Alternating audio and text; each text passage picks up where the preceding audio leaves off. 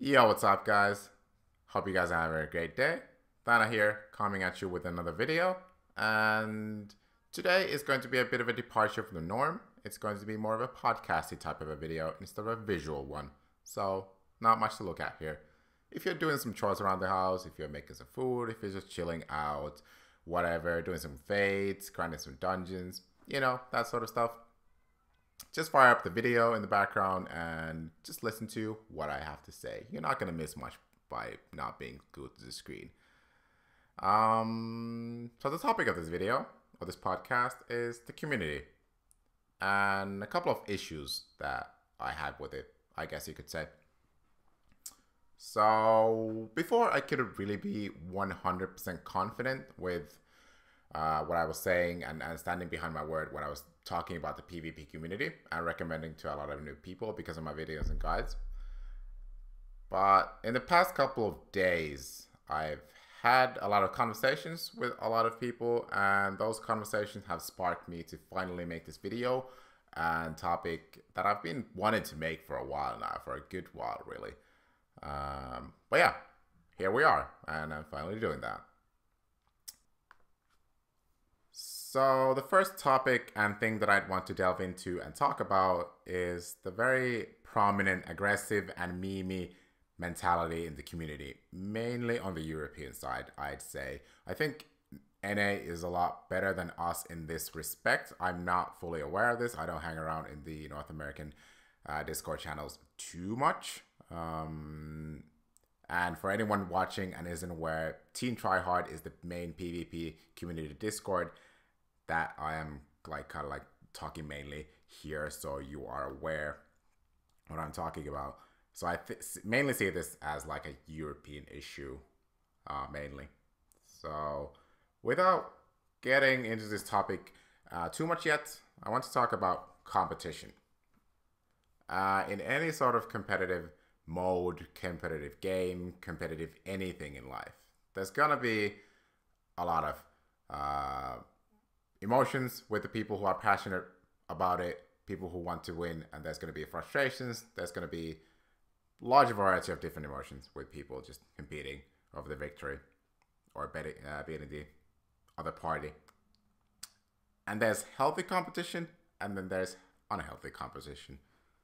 I think in a healthy competition or competitive environment, any issue that is brought up, all those feelings that are brought up are going to be tackled and dealt with in a very understanding and constructive way. Maybe not initially, depending on how the issue and feelings are brought up. Um, but in the long run, people will most likely understand where you're coming from and deal with it appropriately. And then we have unhealthy competition, is what I think is is a very big thing on the European side. So think that the, the mentality, the prominent mentality is is everyone tries to one up each other. Everyone tries to be better than the other person in an unhealthy way. And everyone tries to sort of in every discussion, every topic, every argument, someone has to be right and someone has to be wrong. I think this is very problematic, and it is creating this sort of uh, very negative atmosphere in the Discord, uh, or mainly on the EU side of the Discord, um, where it's like this looming shadow that kind of affects every single conversation, every single topic, every single argument, uh, anything, where everything is automatically going to be seen in a more negative light. No matter how the person who brings up the topic, let's say after a match that went pretty poorly, one of the people in the losing team uh, calls out or says, "Hey, um, why did you do this?" Or "Hey, um, what went wrong there? Uh, why did we die?" Or whatever. It is automatically, no matter what the person's intentions are, going to be taken in a very negative way and almost sort of like a personal attack, you could say. Even if the person with their question wanted to present like this question to the team um, of what actually happened. They want to know what happened, and then maybe uh, go a bit further than that and have a discussion about why what happened happened and then how we can fix it and be more aware next time. And even if the person's um, intentions are like that, it is automatically going to be taken as this sort of like a personal attack. And it's going to almost with 100% certainty end up in an argument. That happens a lot. And I think that is one of the big problems um, in the community right now and has been for, I'd say, years now. And there's also this very cliquey uh, click type of, um, I wouldn't say mentality, but the European side works in a very click manner, or cliquey, however you want to pronounce that, in where it's a very tight knit community and it has its own jokes, it has its own memes, it has its uh, own things, own quirks. And for anyone coming in, it's um it's very daunting to sort of see all that all the memes, all the I wouldn't say trash talk, but it gets the point across. Um and and go through that, become part of the community, even though, you know, any community you need to kind of understand what they're about but in the chaos side of things, I feel like how it happens is you have to filter through so much memes, so much just just garbage in a sense. I know someone's going to be triggered by that, but please listen to me.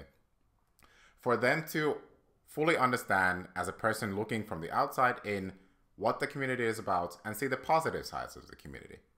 You know? And this wouldn't really be an issue with me in any sort of way if this was a small subcategory of the community, you know, in the side. But because it's the main face of the PvP community on the European side. That is, I think, why there is an issue with this. It is, like I said, very daunting and not very uh, pleasant for anyone coming in to see that as the first experience they get, as the first thing they see. It's not going to give them a lot of positive feedback. It's not going to give them a lot of positive opinions. And they're gonna, not going to see the community in a positive light. And I think that's one of the uh, very problematic things that it, things that it causes is it doesn't um, bring a lot of new people in when the first thing they see is that. And and it's not sort of giving us any healthy growth in the community when when anyone coming in to the European side is going to see that and think, oh, this is what the community is about.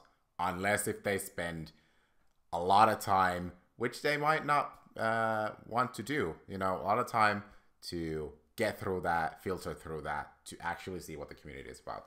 And I think, uh, like I said, it's fine if the it's a sub community or whatever, but it's when it's the main community. Any sort of main community should be easy to get into, so new people coming in are going to have an as an easier as an easy time as possible in integrating into the community. And I think that's one topic and one issue that I have with the community right now. The second topic that I want to go into is respecting others and respect in general. I think that's very clearly missing from the EU community. Um, I think you know a lot of discussions, a lot of topics, a lot of arguments there's absolutely zero respect for the other person who you're talking with or people if it's a group conversation.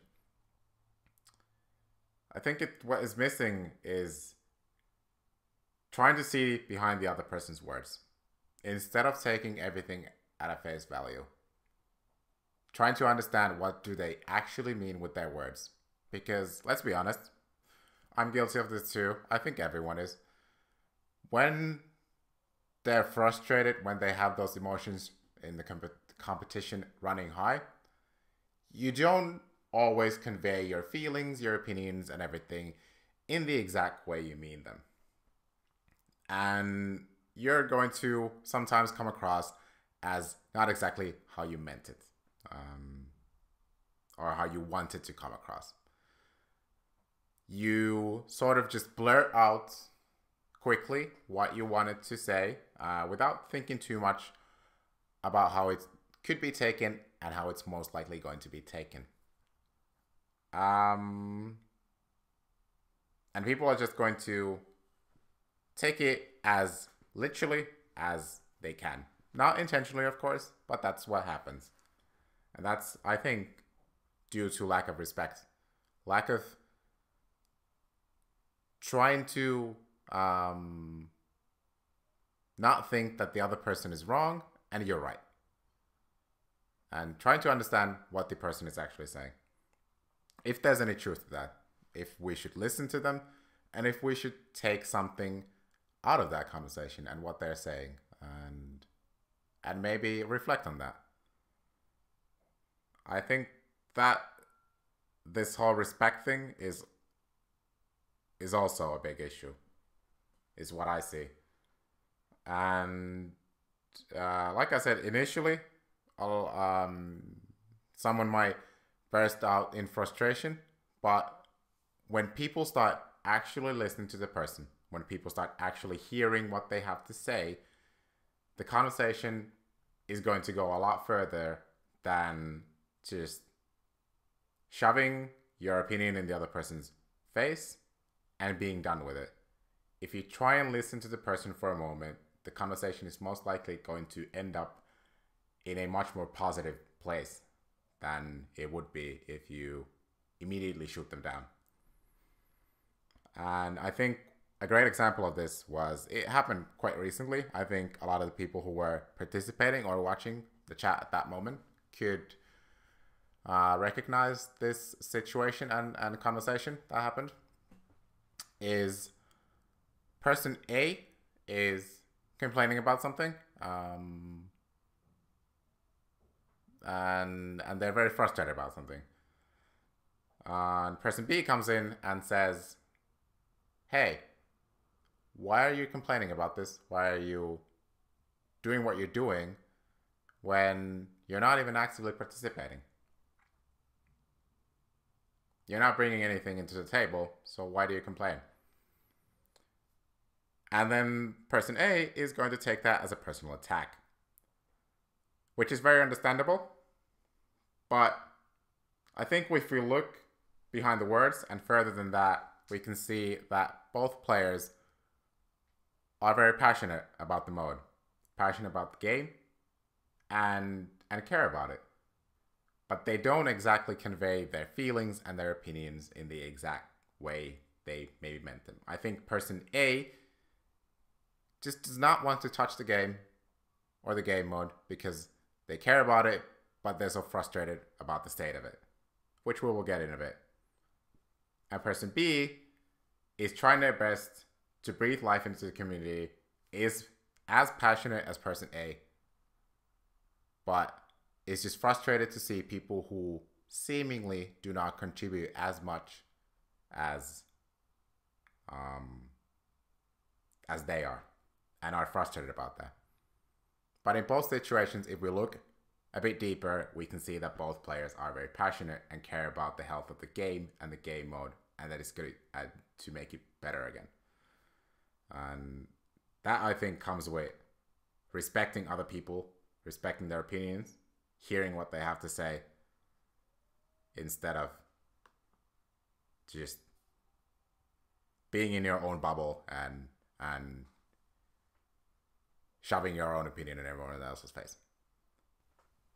In general, I guess what I'm trying to advocate for is anyone coming to you, anyone talking to you, anyone confronting you, they're being rude, they're being disrespectful. Still, in that situation, confront them with respect. Um, hear what they have actually have to say, And I think that's going to take us a lot further as a community rather than keep on doing what we've been doing so far. And realize that even if the person is being uh, disrespectful, being rude, they might be just as passionate about the subject um, as you are, even if they're doing it in a very different way. Uh, I think there's anyone having these conversations, arguments, whatever, are obviously very passionate about the game the same way as you are. They're just going about dealing with that frustration and bringing it out in a different way than you are. So think that's kind of like the couple of things that I'm advocating for. And I think this is a great bridge to the last problem, issue, whatever you want to call it, that I see is happening and I have an issue with, which is the pent up frustration that is most likely within all of us at this point who have been in the PvP community for a while now. And I think that's really one of the, the reasons that's causing a lot of this to happen is a lot of people have are frustrated um, because of the state of the PvP that has been for years now, that it's been for years now. And it is now as well. And and it's sort of like the community as a whole feeling neglected uh, by Square and the dev team, and I understand that. I I'm there myself as well. Um,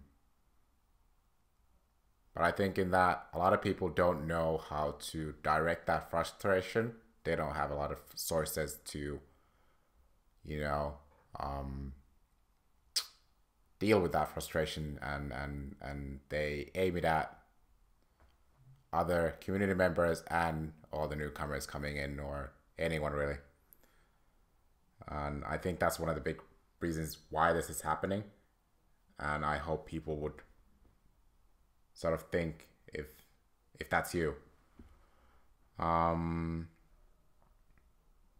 the I think a lot of people as well when they when they're frustrated with the PvP, and a lot of people as well say this. I I think you'll understand when I when I say this. Um, are shouting the very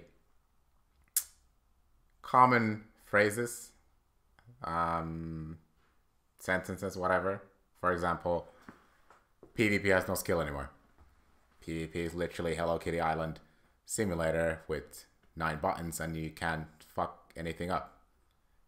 Um, Square Enix and the dev team fucked this up. Square Enix and, and you know, I think all of you who have been in the community understand what I kind of mean with those statements and things things that people say.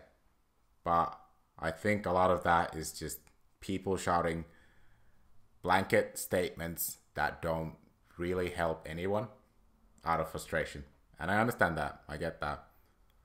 Uh, I think we're all there or have been there. But I think what a lot of people also need to realize is that does not help us in any way. That does not drive us forward as a community. That does not help the dev team to give us what we want or help us achieve what we want.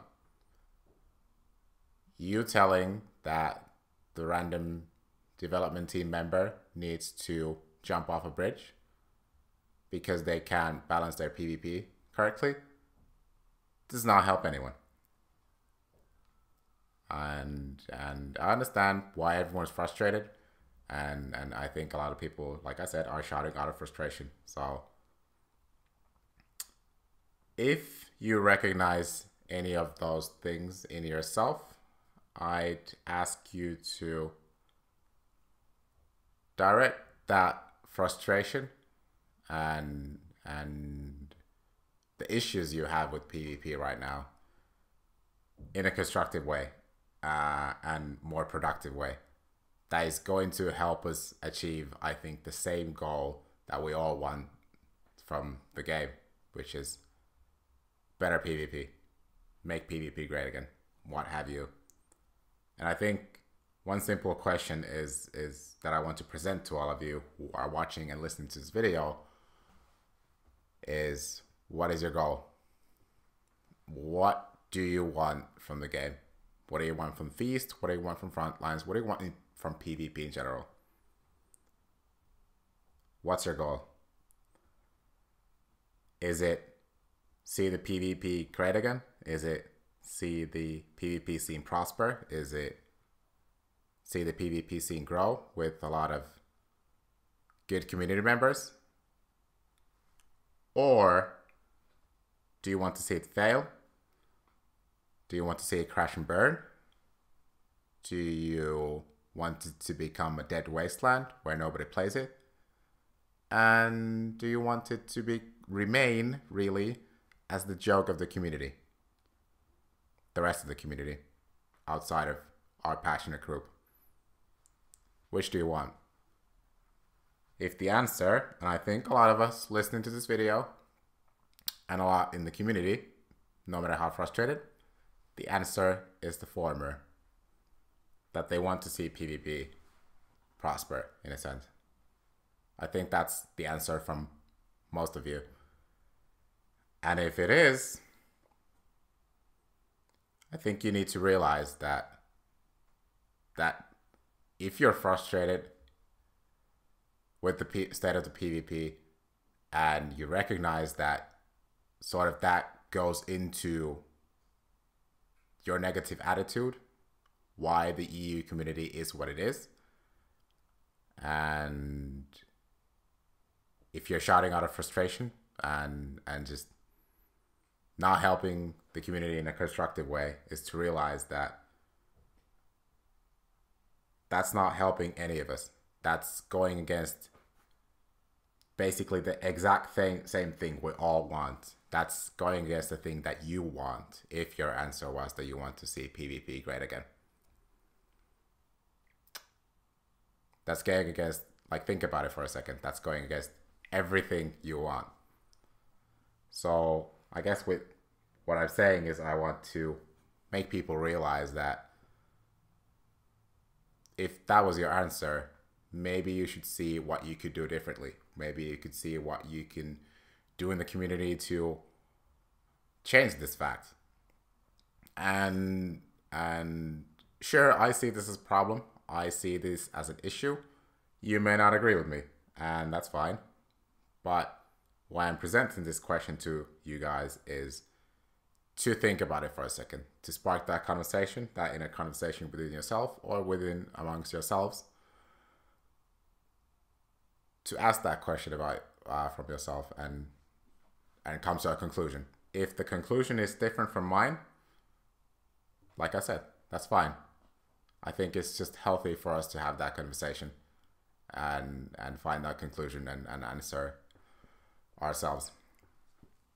And I think that pent up frustration and whatever is third, I think, main issue what I have with the community right now, or rather how it's directed. All right, people, I think that is the end of the video. And I want to thank everyone who made it this far, uh, listened to everything that I had to say, and did not flat out shoot me down with what I had to say and my opinions. And even further than that, I want to thank and appreciate the people who are now sort of reflecting on everything that I said, having that in a conversation or having that conversation within a, uh, within the community and with each other about what I said and and the topics that I covered and um, is there any truth to what I said or am I just completely wrong in your opinion and uh, the community is fine.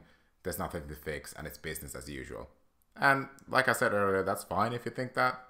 Um, the point of this video is not for me to tell you that you're wrong, that there is absolutely something wrong in the community, rather how I see it and to spark that conversation. The point of this video is to for people to have that conversation, see the bigger picture and come to a conclusion about what they think. The main point is that you come to your own conclusion, whether if you agree with me or not, rather than you must agree with me or something along those lines, you know. Anyway, um, how do you feel about like I just um, like how do you feel about the the podcast type of video in the channel?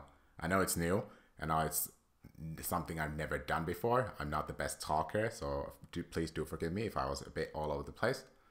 But what do you think of it? Is it a good addition to the channel? Should I do more of these? Should I cover other topics like this? And should I have more like these podcasting types of videos where I just talk to you straight up? What do I feel about different topics in the community? Uh, I've toyed around with a couple of uh, topics such as the state of the PvP, for example. So please do leave all feedback. What do you think of the this format of a video and content on the channel? Is it welcome edition or is it is it terrible? or what could be done better or whatever? Please do let me know that wherever you feel like giving me the feedback in. Anyway, I think I feel like I've said anyway about three thousand times now. And sorry for knocking the microphone microphone if you heard that. Um, thank you for watching the video. Hope you enjoyed it. Hope it was insightful. Hope it will spark that conversation within the community. Like if you thought it was a good video. Dislike the shit out of it. If you thought it was bad, if you thought it was terrible, uh, but don't dislike out of disagree with me. Let's let's be about that. Anyway, subscribe for more content. Um, I'm sorry the Scholar Guide is taking a while. I just have not been playing the job at all recently, but I will work on that and other forms of variety of different contents as well in the future. I'll get back on that. But yeah, thank you for watching the video. Take it easy, people, and peace.